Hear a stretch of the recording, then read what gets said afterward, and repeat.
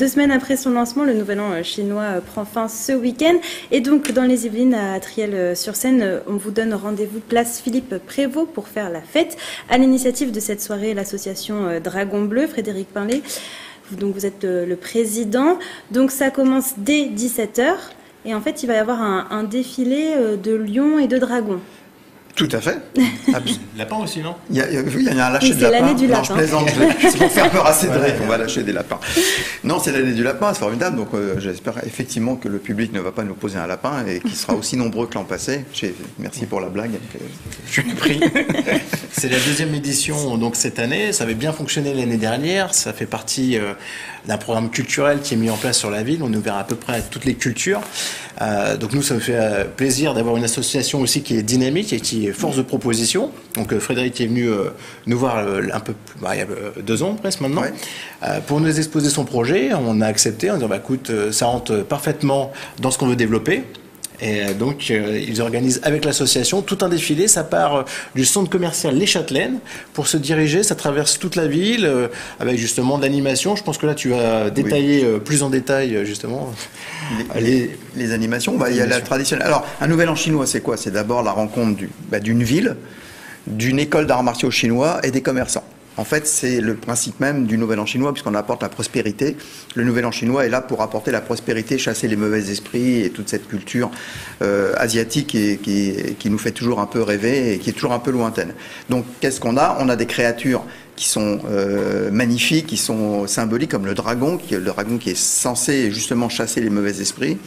Beaucoup de bruit, des pétards, beaucoup de fumée, euh, puis la danse des lions. Et, là, et comme vous le savez, il n'y a pas de lion en Chine, donc c'est toujours bizarre de penser que pourquoi il y a la danse du lion en Chine bah, Tout simplement parce que sur la route de la soie, les marchands qui arrivaient sur la route de la soie apportaient des lions en cadeau aux dignitaires chinois, et ça effrayait les enfants dans les villages qui voyaient ces lions dans les cages, et donc euh, la culture a amené ensuite à ce qu'il y ait la danse du lion pour effrayer aussi toujours euh, les, les- les mauvais, les mauvais esprits. C'est une fête euh, attendue à Triel-sur-Seine, du coup? Oui, là, ça, ça s'est attendu. L'année dernière, c'était un petit peu un coup d'essai, donc on a été surpris parce qu'il y a eu beaucoup de monde qui est venu euh, de toutes les villes avoisinantes. Il y a aussi des démonstrations d'arts martiaux, parce que le Dragon Bleu est euh, avant tout une association euh, sportive qui pratique euh, régulièrement sur Triel. Elle propose euh, donc euh, tout ce qui est kung-fu, euh, tu vois, je laisse Oui, vous chi, donner un ça. spectacle. Exactement. Bah Alors comme je vous disais, donc il y a une école d'arts martiaux chinois, donc que j'ai la chance, et l'honneur de présider depuis 25 ans maintenant, et euh, qui est une, école de kung-fu, de tai chi chuan, de qigong, tous les arts martiaux de la Chine. Et évidemment, euh, un entraînement de kung-fu, de tai chi, c'est toujours spectaculaire, c'est toujours beau à regarder. On a toujours même du public qui vient voir nos cours. Et de le transformer en spectacle, eh ben, c'est ce qui va se passer le soir à partir de 19h, place Philippe Prévost. Un spectacle qu'on a voulu cette fois-ci, euh, l'union aussi avec la compagnie des danseurs IBA, c'est-à-dire que un vieux rêve que nous caressons depuis longtemps de mélanger le kung-fu, les arts martiaux et la danse. Vous allez l'avoir samedi soir à Triel. C'est un spectacle exceptionnel à ne pas rater. Qu'est-ce que, qu'est-ce que les habitants apprécient euh, dans ces festivités euh? Ben, déjà, ce qu'a dit Cédric, c'est-à-dire déjà de découvrir sous un autre angle une autre culture, souvent méconnue, des idées reçues à n'en plus finir.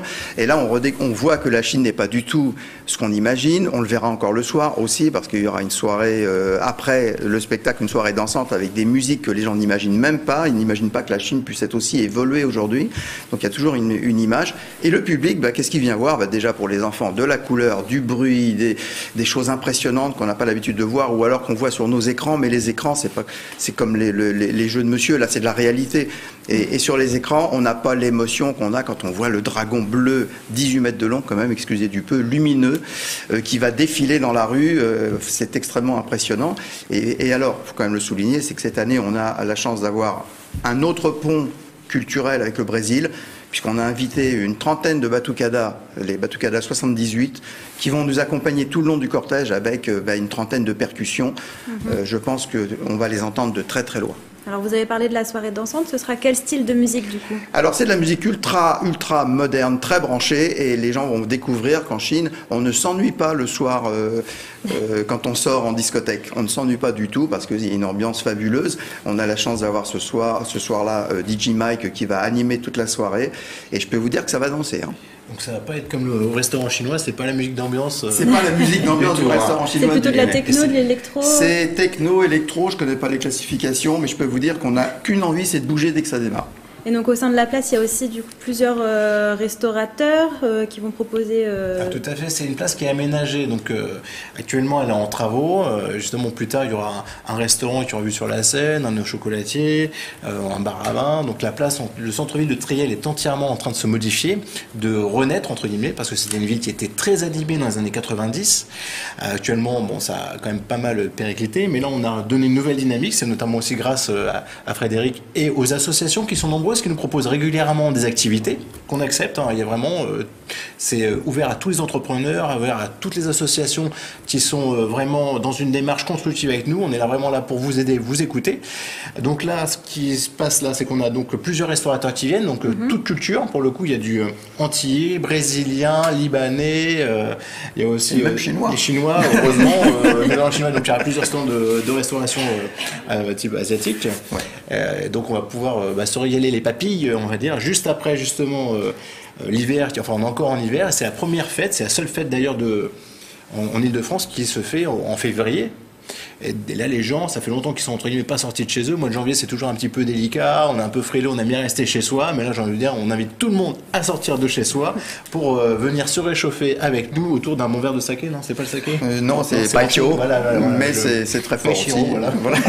Exactement. Avec modération. Avec modération. modération, évidemment. Voilà. Est-ce que tu pourrais me casser la table pour donner un exemple? Absolument, je vais attendre que l'émission soit terminée. Ou la boîte. ou attendre tout court. Ça vous intéresse, Nicolas Dandry, Étienne Bah, c'est toujours euh, intéressant de voir euh, les festivités et de découvrir les autres cultures, euh, notamment la culture chinoise. Euh, moi, j'ai le souvenir, quand j'étais petit, de mes parents qui m'amenaient dans le 13e arrondissement et de voir effectivement ces festivités avec bah, des artistes chinois qui se cachaient sous ces costumes vraiment flamboyants de dragons et de, et de lions et, et faire des, bah ouais, des, des acrobaties assez impressionnantes. Ouais, j'ai de très bons souvenirs sur le Nouvel An chinois.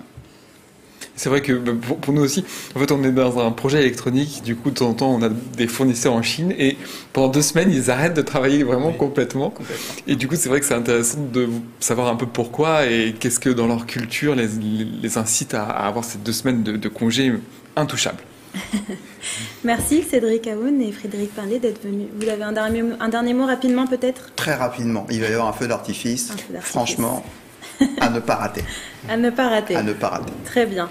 Bah, en tout cas, merci beaucoup à vous deux. Et du coup, si vous êtes intéressés, rendez-vous le samedi 4 février à Triel-sur-Seine dès 17h au Chapelaine, puis aux alentours de 19h sur la place Philippe Prévost.